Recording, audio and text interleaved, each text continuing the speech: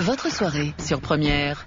19h25, Stéphane Bern vous fait découvrir le monument préféré des Français, un seul sur 120 en compétition.